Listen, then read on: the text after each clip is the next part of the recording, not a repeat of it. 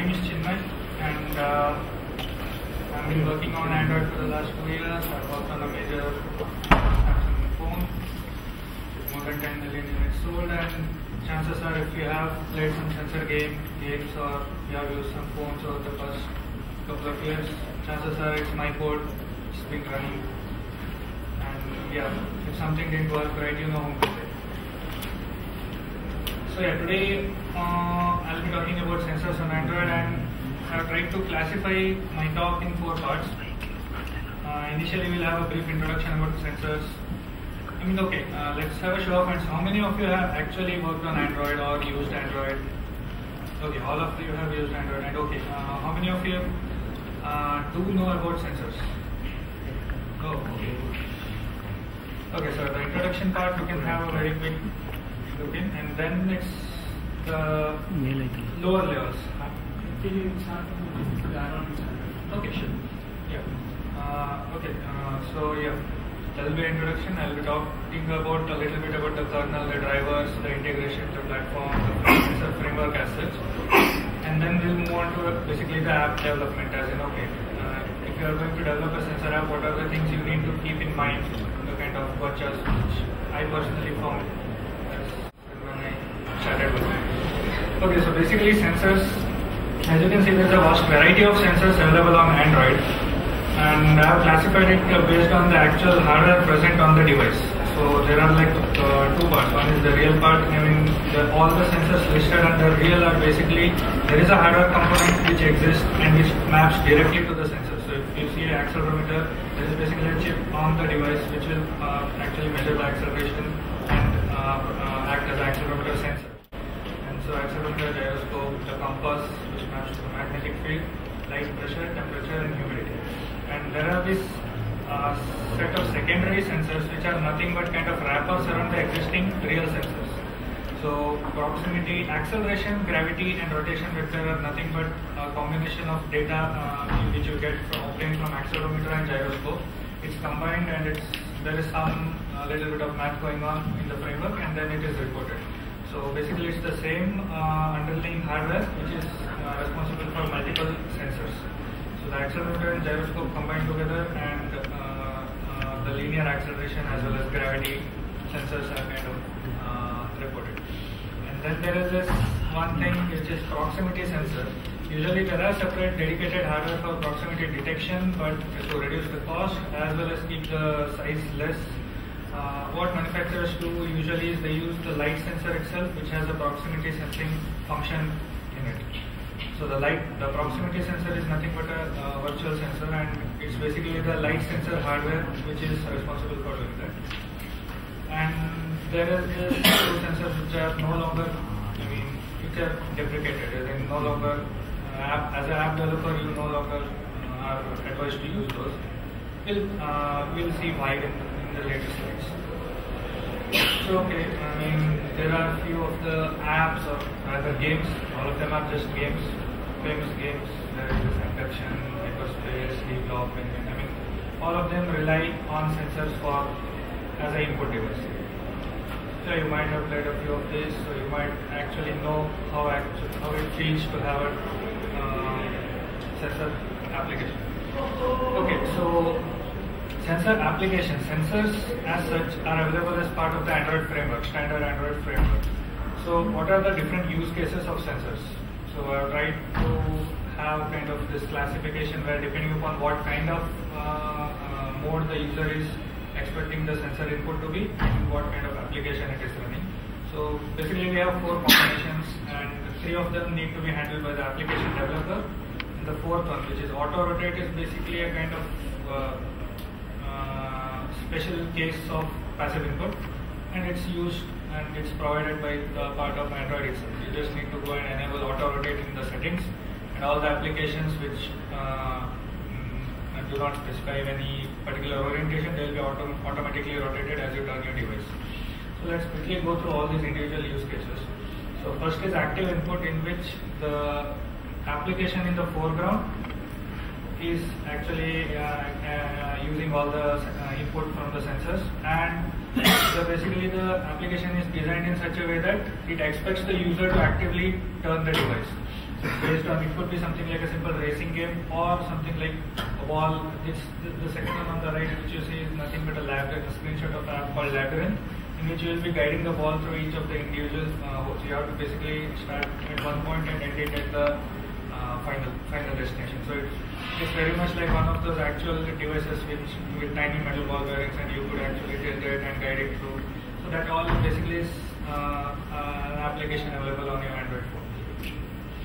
So second one, second use case, which basically most of the sensors are deal with is passive input, in which there is the basically the app is designed in such a way that it doesn't expect the user to do anything actively, but because the sensors are working, the hardware is present, and you get the sensor uh, events, the application can actually register for one and kind of uh, be a smart app in which it doesn't actually uh, uh, require the user to do anything, but based on how the user is, based on uh, how the device is placed, uh, basically some useful info is extracted and it's kind of used to improve the app. If see the screenshots, I mean clearly you can appreciate that okay the one on the right is a better uh, app. Uh, I mean, just having, if you do a get directions on your PC, let's say where there are no sensor uh, info available, then it can just show you a two mm, uh, roadway, a path. Uh, but if you do the same uh, get directions on your Android phone map application, then you can basically see that the application is kind of showing you depending upon your location, which is done through the GPS, as well as your orientation. So basically the compass is used and it, it basically knows that okay you are uh, pointing to the north and it kind of rotates the map so that you, you, you get a better view, a better idea. Rather than point A to point B, you can actually see relative to yourself, okay I'm standing here, the map is here and you can actually map what you see on the map to what you see in front of you. So this rotation feature uh, of the map, the map view which is rotated can be handled. So here the user is not actually expected to do anything, is not expected to shake or it, it, it's kind of a smart intuitive way. You just hold the device and it will the app will actually use sensors and determine okay uh, where is this uh, device pointing and it will rotate the map properly to to come to to, to, to, see orientation is deprecated. yeah, I mean, I say orientation, but it is just the compass, the orientation of the map. The way the uh, map uh, is actually displayed on your uh, device. It's not the orientation sensor we are talking. It's the compass and which that will be used. Okay, the third class is the kind of active passive use case in which let's say you have something like uh, media player. Uh, of course, the default uh, music app which uh, comes with the, stock Android doesn't support this. Uh, but there is an app called Winamp or Jukebox basically allows you to kind of play music in the background. And while you are at it, it also supports gestures. I mean, you can shake go to next song, previous song. So even though the application is not in the foreground, you are reading, let's say, some other book, you are just launched the music, and uh, suddenly you, uh, you decide, okay, I need to kind of focus on this part, and I need to pause. So you need not uh, minimize or kind of close your uh, current activity and go back, launch the music app and pause. You can just do a shake. So basically this application, it's, it's, it's uh, a service running in the background and uh, whenever you do any one of these activities, it's not the foreground, it's not the active application which receives it. It's the passive uh, application. So even though the action is active, it is being handled by a passive uh, application which is in the background. This is the third use case, and the fourth use case, I mean, which is a very common one, and it's it's not really a part of app developer. It's just that the since it's so common uh, use case, uh, the Android framework itself allows it. I mean, you just have to uh, enable if the user enables auto rotate in the settings.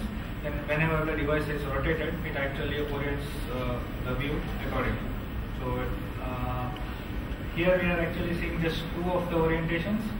Uh, currently on most of the Android devices you get a 360 degree rotate that is portrait, landscape, reverse portrait and reverse landscape. All the four rotations are supported. And in any case all devices support three. Three rotation settings. Okay, so yeah, that's uh, one about us. And okay, uh, brief introduction of uh, the sensors, as in the hardware.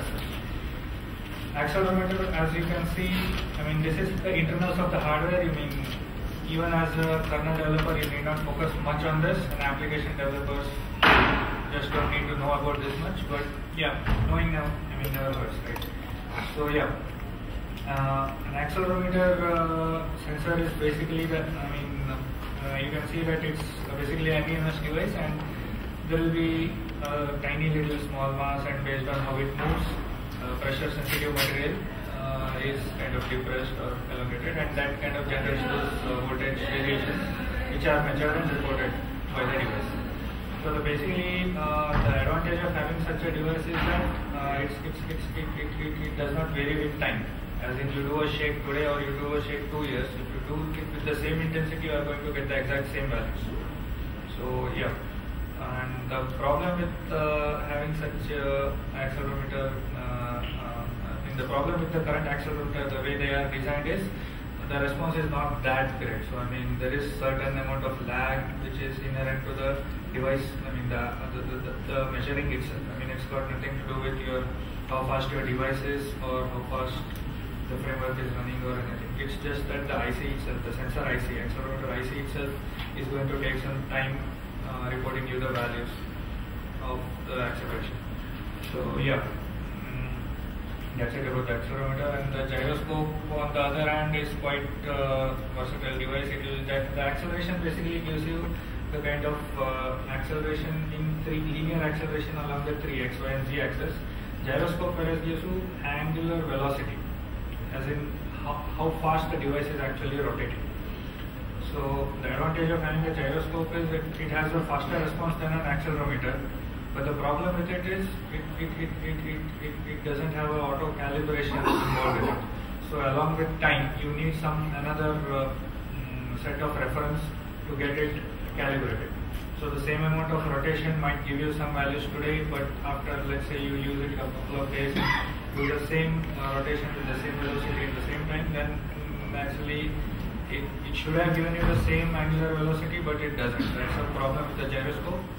And uh, later on we'll see how, how we actually kind of can uh, use accelerometer and gyroscope to correct each other. That's the sensor fusion part which I'll be talking about later. Similarly for the magnetometer, it's it's it's a, a compass device and basically it will just uh, read the amount of uh, number of flux lines passing through your uh, unit area and which basically it uses to kind of figure out.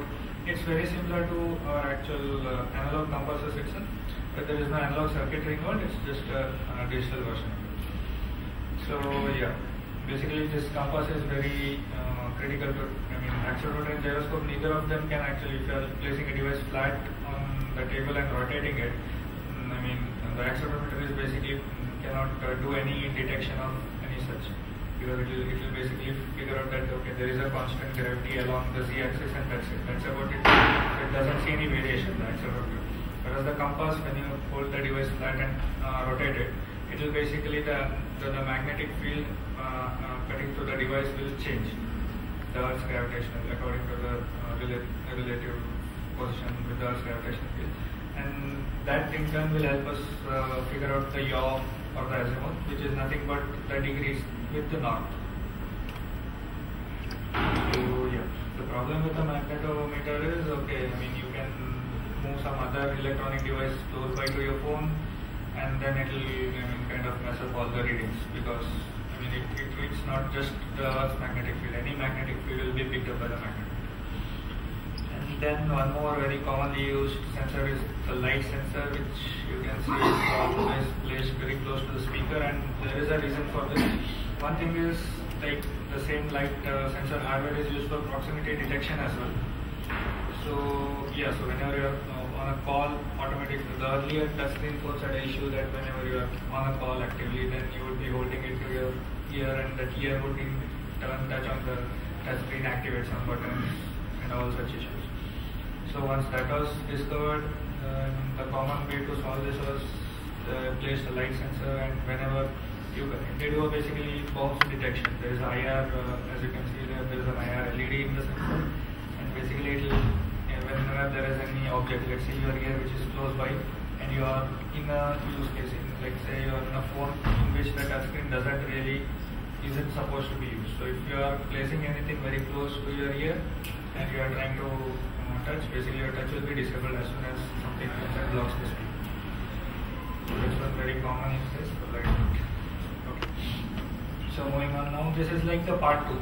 So where I'll be speaking more about the Android sensor framework.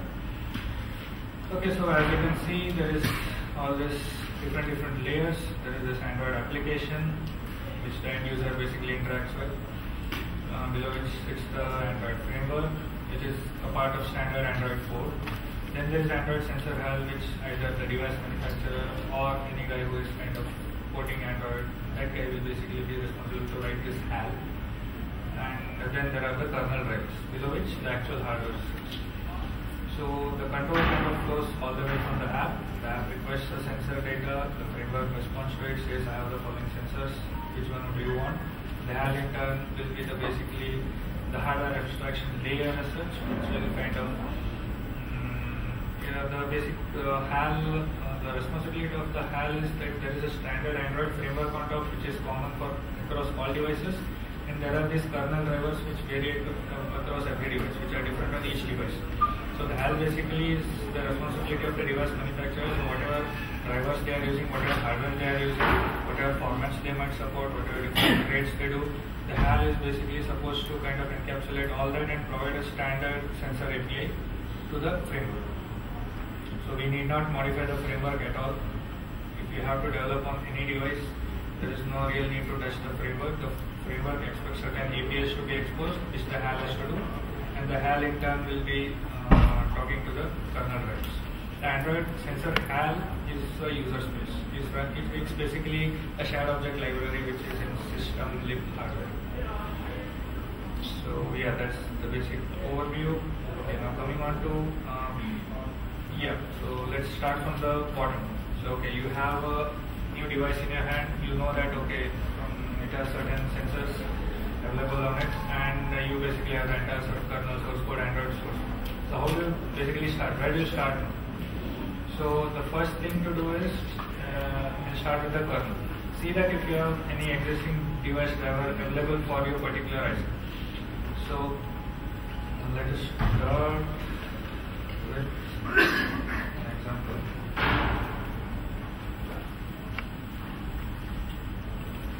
yeah, this is a kernel tree for one of the major Samsung phones out. Yeah, it's, it's basically an outsource, uh, in open source uh, code for a car. So yeah. First uh, you figure out if there is an existing driver available for your device. If there is, then you need to enable it. And uh, if there is it's not, then you might want to contact the vendor, or you might sit and get the data sheet and write it yourself. So okay, we'll get into the details as to what are the important things you need to do when you are writing a, I mean, integrating your device driver into the uh, kernel. And the second thing which you do after that is basically the user space or the HAL. So that is also something which cover. So okay, the kernel part. Mm, okay, so how many of you are actually, I mean, kind of fluent with the Linux kernel as such? Okay, kernel code. Okay. So these are there are a couple of things which kind of specifically apply to the sensors, dri- uh, drivers, and I mean they are like general concepts which anyone can use in any of the other drivers as well. So while writing the sensor driver, I mean the the, the focus was on getting a very uh, quick response. I mean you don't want the user to be playing around and hanging. Suddenly the device stops responding.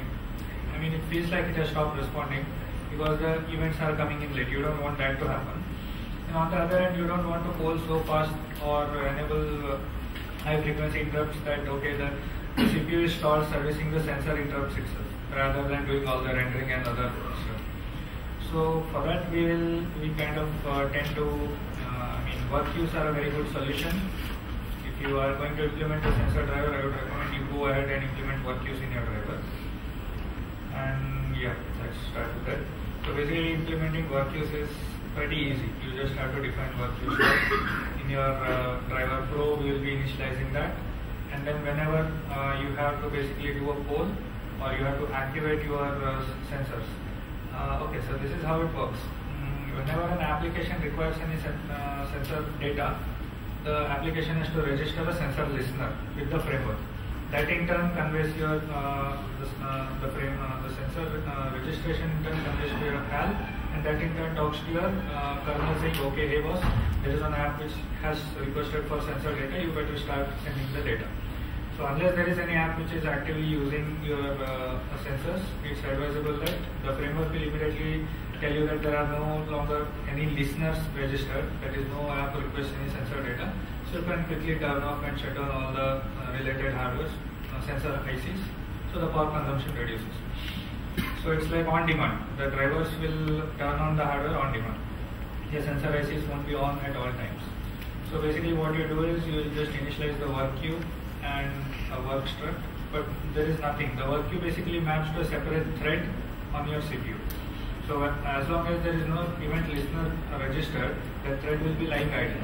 As soon as somebody registers a listener and your sensor framework kind of gives you gives the uh, kernel the go ahead that okay there is a request to start pumping data. All you have to do is you have to handle that call and just say a queue delayed work. Basically queue delayed work and queue work are two uh, uh, work queue APIs which basically require work queue, a work struct as well as some delay. So queue delayed work is nothing but the uh, a kind of a deferred handler. So what we will do here is, we'll, as long as there is no uh, uh, sensor listener registered, the work queue will be empty. As soon as a listener is registered, you initiate one uh, work. Basically, the work struct is nothing but a pointer to the function, which will basically read the hardware and report the data up. So that is basically the third function, which is uh, linked to the work struct. And there is this timeout. So as some of you whom are developing applications on Android might be aware that uh, when you register a sensor listener, there is a kind of delay or a polling interval associated with it. You can poll it. I mean, there are, there are like four uh, delays, which is like UI, game, fastest, and normal polling interval. So yeah, that is basically how often you need uh, events coming to your device. So it varies from 60 millisecond, which is the uh, game you, game uh, delay, as well as uh, the lowest is 200 millisecond. As if you set it to the UI polling interval to polling UI, then you will get one uh, interval approximately every 200 milliseconds.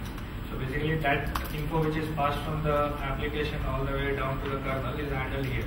So how frequent you schedule your work queue, how work on your work queue, that is uh, determined here. And what you do here is, inside the work struct, as soon as you report your uh, data, you kind of schedule itself once again. So you, you just check that, yeah, I mean, there will be some one variable which you can kind of use to determine whether it is still valid, whether you need one more uh, poll to be done after this, and you just keep on scheduling itself.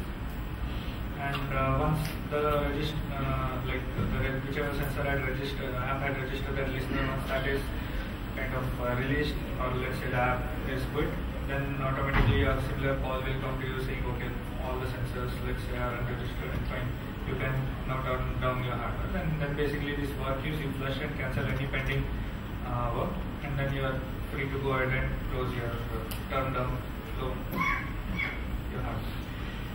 Okay, then the next thing. Okay, so yeah, the work queues. I guess that is something which you can use, and then there is one thing about sensors is, as I was saying, that we need to be aggressive about uh, covering our uh, uh, as in, okay, you need to reduce the power consumption on the device, so you need to be very aggressive as to when you actually keep the device on.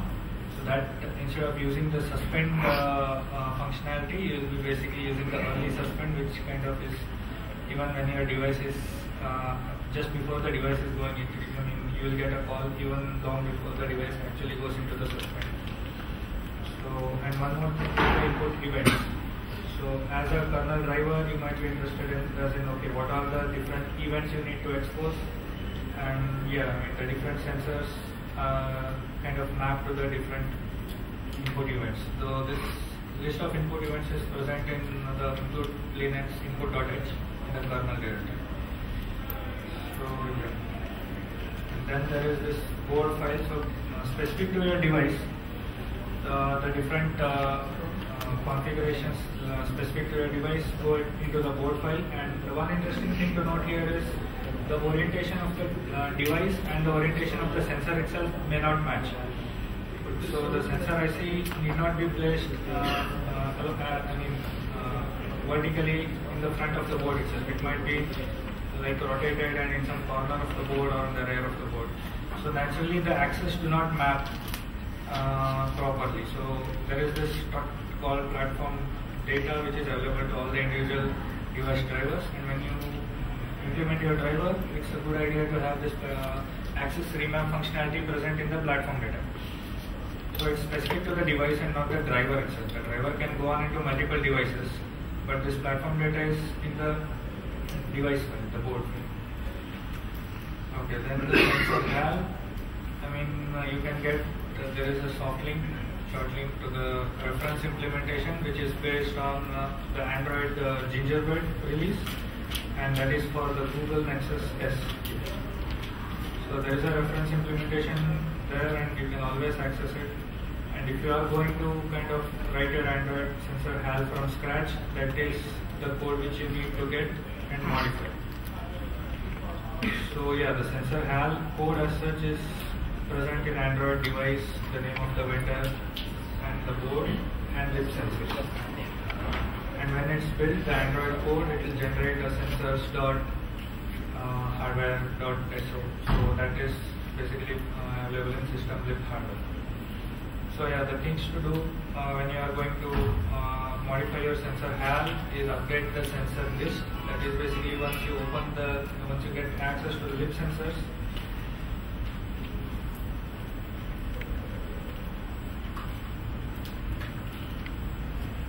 yeah. So the lib sensors here, this is this is just basic code base for the entire sensor HAL.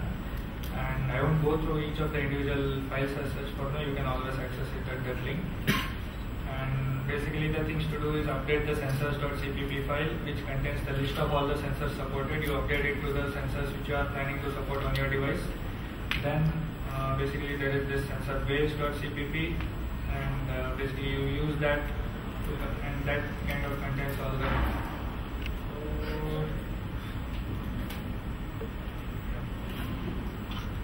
So basically that contains all the base, uh, it's a base class and you will derive your own individual sensor class for each of the individual objects. So if you are going to implement an accelerometer, you derive something from the sensor base.cpp, sensor base.h and you create your own accelerometer sensor.cpp. Let's see the gyroscope for example. So what you do is you derive a base class from there and then you basically uh, the constructor is the only thing which you need to modify and there is basically you will change the type of the sensor, the ID of the sensor which is against the what kind of sensor it is and then the name. This is basically nothing but the input device name which you will be registering to on when you create your write your kernel driver. And then this is the basic event which are uh, obtaining from the kernel driver and passing it on to the framework. So all this code is actually present and available for free openly on uh, the link I shared and you can just basically go ahead and copy the libsensors into your um, Android tree and make uh, appropriate modifications and uh, you should be able to get your sensor provided the driver is up in the kernel. Okay, uh, so that's the basic sensor bring up. Can you, As can you maximize it? Yeah. So there is one thing which I would like to talk about. How many of you have heard of sensor fusion? Okay, so yeah, there is this company called InvenSense which does this, and basically the need for sensor fusion is that there are different limitations to different sensors. Uh, none of them are kind of uh, uh, as in complete in their own aspect, but yeah. You'll get faster data samples, you'll have lesser noise in samples, the data will be more accurate, and you can kind of uh, uh, enable, I mean, uh, advanced sensors like gestures, lips is nothing but something like a character recognition. If you write, if you hold your device in the air and write something, and you see that okay, all the text has basically come onto the uh, notepad. So such things can be done and are actually being currently done, but the default Android API doesn't uh, allow for them, and it's it's very hard for an Android application developer to do it as such. So if you are going to do it on your own, you'll have to register multiple sensor listeners, you'll have to write all the algorithms to correlate data and that will be kind of very complex thing. Uh, in addition to that, you'll have to write your own custom library to do all that, which is again a hard thing. So there is this uh, InvenSense, uh, there is this company called InvenSense and which has come up and done all the hard work for this and it basically allows you uh, libmp alert, so which is again a shared library and you just have to link your application to it and you will have all the I mean instant access to all the advanced sensors as well as all the individual sensors themselves will be better. So okay, uh, on to the last here. Development on Android, okay, you, you might want to note down these links. I mean these are the good examples of actual live examples where uh, I mean uh, Android application has been developed from scratch to the end, and I mean it's kind of a complete walkthrough. I'll be sharing this PPT and I'll, I'll, I'll be leaving the whole link. I'll be sharing it online later. So yeah, let's quickly go on to the application development. Uh, we'll be sharing slides, so we don't need to copy Yeah. down all the links. This will be available on the right for website. So yeah, so the application developers. So for app developers, there are a couple of things you need to uh, keep in mind. The polling rate as such, okay. Uh, you might want to tempt, you might want to be tempted to keep uh, register your listener as uh, I mean with the polling rate fastest, but basically that's a poor way to do it because the lower levels implemented is it's it's just as it keeps as you see that okay the work queue uh, implementation which we saw above and if you are going to basically give it as a fast register your listener at the fastest it will basically register this work queue uh, with a zero timer which basically means as soon as the CPU is free I am going to just go ahead and try and uh, read the sensor pull the hardware and again return it so you basically do not need that that kind of uh, that fast uh, polling because it will again start interfering with the active application. Uh, most of the games and even applications register with the polling frequency of uh, game, which is roughly 60 milliseconds, which turns out to be like 16 samples every second. And if you are running a game at let's say 30 FPS, which, is, which means that you are getting a sample, input sample at once for every two frames, which is pretty decent. So you'll have a very quick response on the UI as well.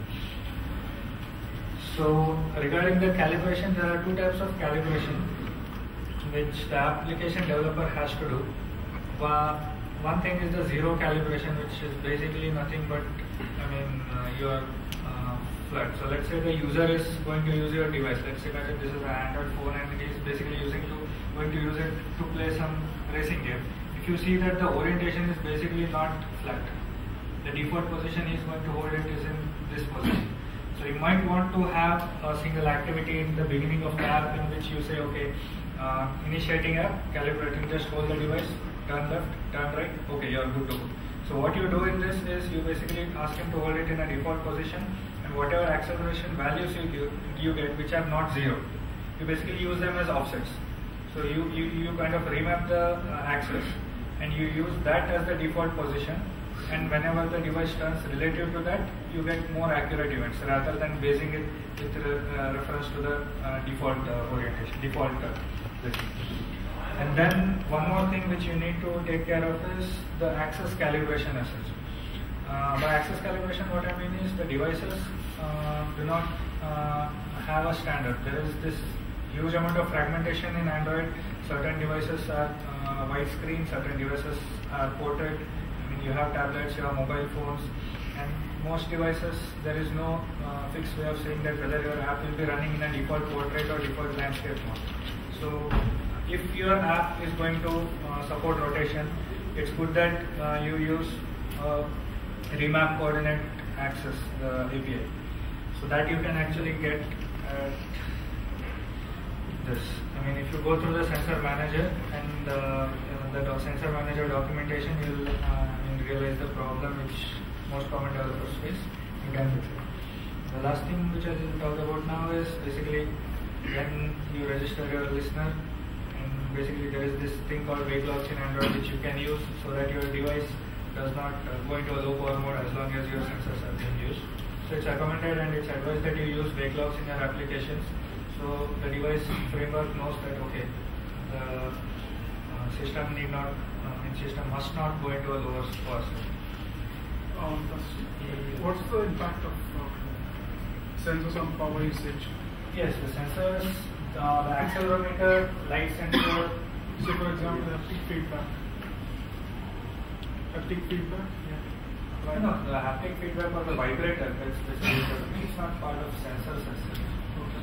Uh, by sensors, what I mean here is accelerometer, gyroscope, light sensors, proximity sensors. So basically, all those hardware, out of all that, the gyroscope is the uh, most power-consuming uh, hardware, and that's basically. So, what are your tips? Say, for example, I'm building my, my own navigation device. Yes. So, how, how do I optimize for? Yes, this is basically what I'm talking about here. So you register your listener at the last possible state. You do not do it in your on create or on start, rather you do it in your on resume. And then you unregister the listener on contact. So basically what happens is uh, whenever your uh, app goes into one of the inactive states, automatically the sensor listener is unregistered and the message goes to the kernel saying okay, the device, the, the actual hardware which is responsible for the sensors can be turned off temporarily. It's okay if you keep switching multiple times, that is not power consuming. What consumes more power is keeping the sensor ICs on even though you are not using them. So yeah. Yeah, uh, I have seen a few games. Like if you're sitting and playing, it's fine. Let's say you sleep and have the phone in total inverted mode. Yes.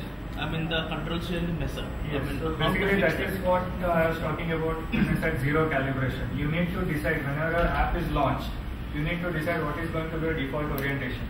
So whenever the app launches and you have a splash screen, you can say the user, okay, get into your default mode. If you are going to sleep and play, lie down and hold it. Now turn left, now turn right. So you can get three samples. I am assuming this is a car racing game. If you have some other motions, then you can actually ask him to do the extremes which he is going to go. And you can ask him, okay, this is the default, hold it in default, tap the screen. Go to your most extreme, tap the screen. Go to your other extreme, tap the screen. Fine. What you do is then when you get these three samples, you use them as offsets. And whenever you do any uh, read, whenever you get any sensor event and data, you basically subtract these offsets and you get the proper uh, relative orientation. Actually, what happens? Let's say you are moving forward or moving backward. The values actually become the opposite of what uh, when you are sitting. Yeah, but if you do a zero calibration, if you get recalibrate the axis itself, then the, all the values you will be uh, using in your app after you subtract the offsets will be relative to the new axis. So basically, there is a very easy way to do this. You can just say recalibrate the coordinate axis. That's what I was saying, and you can use that API to get you uh, very good uh, zero calibration device. And yeah, there were a couple of other ideas. I mean, So how do you do this location fix without GPS? yeah, I mean, basically there is this. I can't go into much detail. I'll be uh, posting all the detailed technical stuff on the links. You might want to subscribe to that feed. Uh, what what I was, uh, I'll just finish this up. What uh, location fix without GPS does is we have a compass sensor on board, there is this geolocation data, and basically at any point in the world for any given time, your Earth magnetic field is going to be a known number. So if you measure your magnetic field right now, right here, and I say, okay, it's 745 and this is my field, basically using that huge geolocation table, I can figure out that I am at what coordinate. So that's the gist of it. It's not really that accurate because you might end up having some other interference. But if you can somehow say that, okay, you're in interference free zone, then you can actually, uh, without using GPS, get a very accurate longitude, latitude, and altitude fix of where you are. That table is, uh, uh, is, is Yeah, it, it, it's, it's, it's, it's, it's not part of Android, it's just an open project. You can just search for geolocation data and you'll get it. How big is it? I mean, it has, for a given, it's like this, for a given time and No. For a to given- it on the phone, how much? I mean, it's, it's, it's, it's, it should be possible. It's, I mean, you can even use it as in. Not in like MPs. I mean, no. So basically, what you do is you just have a given time, given uh, uh, magnetic field, and that for that field and that time, you will have a latitude longitude. So I'll be available. You can contact me at any of these forums. You can always drop in any questions. Is that magnetic unique for each device? Uh, no, it's unique for the Earth. As long as you are on Earth and you use any device here, and you use. yeah. I mean, how, how can you figure out the exact device location? I mean, that's that's basically the beauty of it. The geolocation API says that if you give me a time and if you give me a magnetic field, then I can tell you that field exists at this time only on this place on Earth. So it's kind of like having, uh, say, in AGPS, uh, like how AGPS one of the things that it uses is the tower information. So based on the tower, uh, they send a, like some data to the servers, and the servers will actually tell you, okay, don't look for all the 32 satellites, look, look for only this much. Because they have, there's this database of every single tower that's there, and at that particular time, what would be the uh, uh, satellites that will be visible. So it's kind of along. Yeah. It, but yeah, the accuracy is one of the problems there. Because magnetic interference is a huge problem. So your devices are never designed for complete magnetic proof stuff. But it will take a lot of time for you to reach that location. Yeah, but no, the GPS takes a lot of time. AGPS is supposed to accelerate it. Supposed to accelerate it. You can theoretically get something close to it. Depends on if there's a hot start. So, so we are running out of time, so we'll uh, have the rest of the questions after the session. You can always get in touch with uh, Chinmay. So I really appreciate Chinmay. Thank you so much for coming over and giving this talk.